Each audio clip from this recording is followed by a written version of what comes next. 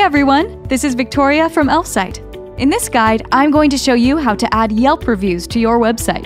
It will only take two minutes, and you don't need any specific skills to do it. First of all, let's go to elfsight.com and choose the Yelp Reviews widget in the menu list. Click Create Widget. You can find the direct link in the video description. So, let's create your widget. Begin by choosing a template that suits your case best. Click Continue with this template.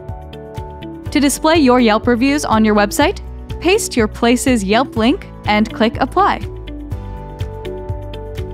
That's it! Your widget is ready! Also, you can check the Settings tab to adjust layout, size, colors, and fonts. Click Join to install to add the widget to your website. Log in or sign up to Elfsight Apps. This is free, no credit card required. After you sign up, you'll see the widget that you have just created. Click Save. The next step is to choose your subscription plan.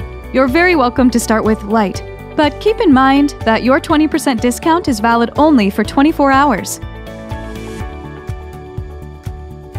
Click on the code to copy it. Open the HTML file of the required page in the editor. Paste the installation code to the designated page area. Save the changes.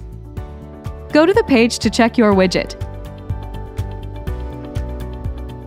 This is how easy it is. But if anything goes wrong at any stage, message us at support at elfsight.com. Also, we've got tons of cool and exciting widgets, and you're very welcome to try them out for free. Just click the link in the description. Thank you for watching this video. Enjoy your day.